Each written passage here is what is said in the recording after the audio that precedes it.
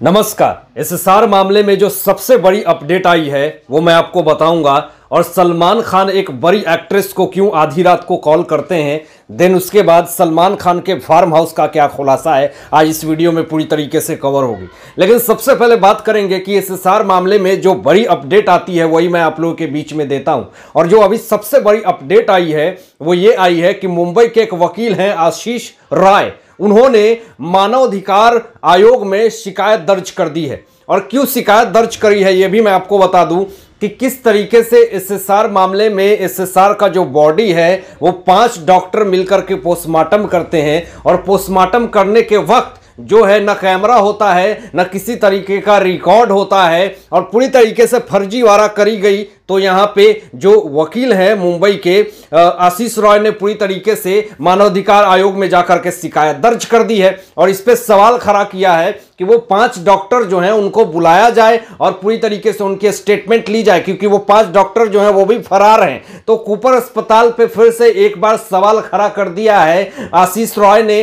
तो इस पर आज भी बहुत सारे ऐसे मुद्दे हुए हैं महाराष्ट्र में, उनको लेकर के भी इन्होंने बहुत सारे ऐसे सवाल खड़े किए थे, चाहे वो एसएसआर का मामला है है, इनके ऊपर भी इन्होंने सवाल खड़े किए थे। तो देखते हैं कि आशीष राय के इस मानवाधिकार शिकायत में दर्ज करने के बाद क्या बड़ा मामला आता है और इससे कुछ निष्कर्ष निकलता है या नहीं, ये मैं आपको आगे बताऊँगा। लेकिन उससे पहले एक बड़ी और ब्रेकिंग न्यूज़ जो आ रही है, वो ये आ रही है कि सलमान खान के फार्म हाउस पे बड़ी खबर आ चुकी है। बड़ा मामला दर्ज हो चुका है। आपको बताऊँ कि कुछ दिनों से पूरी तरीके से विवाद चल रही है सलमान खान और उनके जो पड़ोसी हैं, केतन कक्कर। दोनों में पूरी तरीके से विवाद चल रहा है और पूरी तरीके से धर्म एंगल इसमें घुस चुका है और यहाँ पे धर्म का जिस तरीके से एंगल आया तो इस पर सलमान खान भी पूरी तरीके से बौखला गए। अब आपको यहाँ पे बताता चलूँ कि जो केतन कक्कर हैं जो पूरी तरीके से उनके पड़ोसी बने हुए हैं। उन्होंने सोशल मीडिया पे यूट्यूब पे ऐसे ऐसे वाहियात स्टेटमेंट दे दिए हैं जिसपे पूरी तरीके से सलमान खान जो हैं, उनके ऊपर मानहानि का केस उन्होंने कर दिया।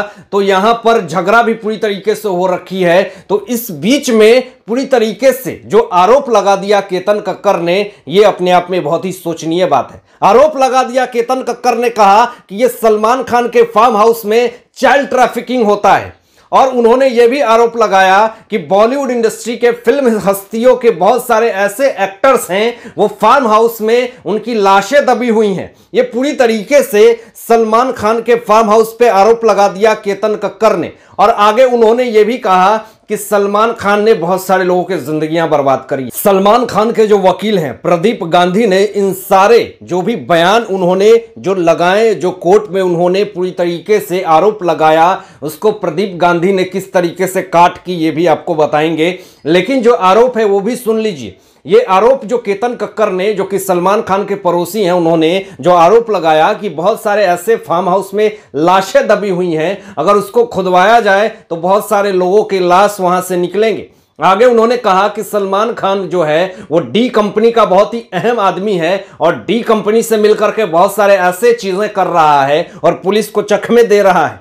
आगे उन्होंने ये भी आरोप लगाया कि जो बड़े बड़े स्टेट लेवल पे राजनेता हैं, उनसे इनकी उठ बैठ है और बहुत सारे ऐसे काम हैं जो ये कर रहे हैं राजनेताओं के आर के पीछे छुप करके। ये सारी व्यक्तिगत तरीके से इन्होंने जो आरोप लगाया इस पे सलमान खान के जो वकील हैं, प्रदीप गांधी ने कहा कि किसी के ऊपर इस तरह का व्यक्तिगत आरोप लगाना ये बहुत ही निंदनीय है और ये बहुत ही गलत है। ये बचकाना है, इनके पास कोई भी ठोस सबूत नहीं है। बस ये व्यक्तिगत झगड़ा को इस तरीके से उनके इमेज को धूमिल कर रहे हैं, उनको बदनाम कर रहे हैं और सोशल मीडिया पे जिस तरीके से ये बयानबाजी कर रहे हैं, यानी जो पड़ोसी हैं उनके केतन कक्कर, उस पर पूरी तरीके से रोकथाम लगाने के लिए सलमान खान के वकील प्रदीप गांधी ने कोर्ट में एक बार चिल्लाया। तो इस पर पूरी तरीके से जो पड़ोसी हैं केतन कक्कर ने कहा कि मैंने जो भी आरोप लगाए हैं, वो सब सही है। अब यहाँ पे सलमान खान की तरफ़ से यह कहा गया कि ये केतन कक्कर एक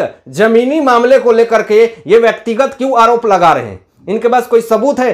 क्या इनको राजनेता बनना है? सलमान खान ने तो साफ़ तौर पे कह दिया कि मुझे कोई भी पॉलिटिक्स में इंटरेस्ट नहीं है और मैं पॉलिटिक्स में जाना भी नहीं चाहता। यहाँ पे जिस तरीके से केतन कक्कर ने हिंदूवादी, धर्मवादी को लेकर के जो विवाद खड़ा किया, पूरी तरीके से जातिवाद को लेकर के विवाद खड़ा किया तो यहाँ पे सलमान खान की तरफ़ से सफ़ाई आई कि मेरी माँ हिंदू थी, पिता मुस्लिम थे और मेरा भाई जो है वो हिंदू से शादी किया और हम लोग सारे त्यौहार मनाते हैं। तो यहाँ पे पूरी तरीके से कहा कि ये जो आरोप लगा रहे हैं, ये कोई गुंडा नहीं है, ये कोई बदमाश नहीं है, आप पढ़े लिखे आदमी हैं और इस तरह के आरोप बिना व्यर्थता के, बिना कोई सबूत के आप जिस तरीके से आरोप लगा रहे हैं, ये कहीं ना कहीं बहुत ही सोचनीय है और बहुत ही गलत है, क्योंकि किसी के पर्सनल लाइफ पे आप इस तरह से अटैक कर रहे हैं ये बहुत ही गलत काम कर रहे हैं। अब आगे सलमान खान ने यह भी कहा कि आप इस तरह से गुंडा छाप की तरफ़ बयान न दें और जितने भी बयान आपने सोशल मीडिया पे दिए हैं, आप सारे बयान को वापस लें और माफ़ी मांगें,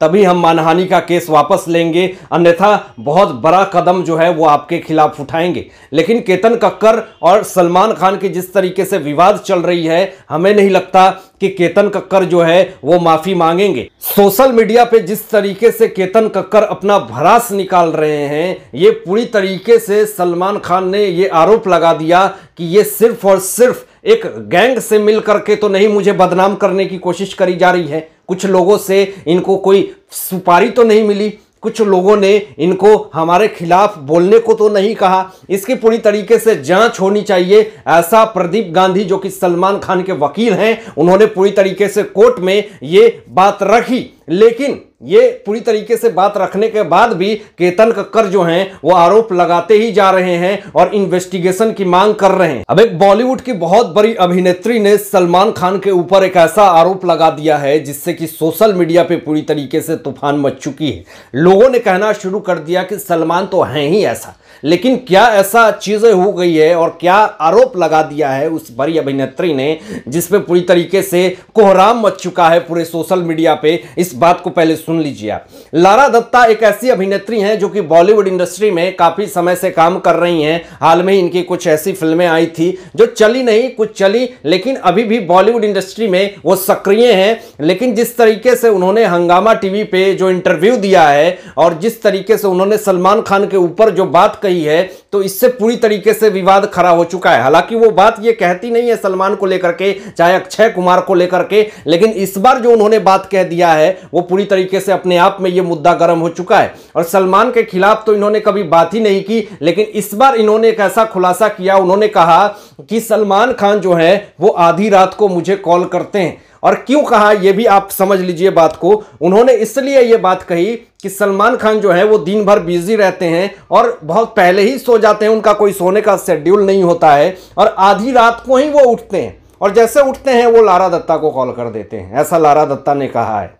अब ये भैया, आप किसी वक्त उठिए और किसी वक्त किसी को कॉल कर दीजिए। ये अपनी भी प्राइवेसी होनी चाहिए लाइफ में। लेकिन क्या लारा दत्ता ने इसलिए ये बात कही कि थोड़ा सा पब्लिसिटी और फेम मिल जाए? आप ज़रूर कमेंट करके बताइएगा इस बात पे और आप क्या सोचते हैं इन सारे मुद्दों पे? अपनी विचार भी व्यक्त कीजिएगा कमेंट बॉक्स में और ऐसे ही लेटेस्ट अपडेट पाने के लिए इस चैनल को सब्सक्राइब करके बेल आइकन प्रेस कर दीजिएगा और अपना ध्यान रखिए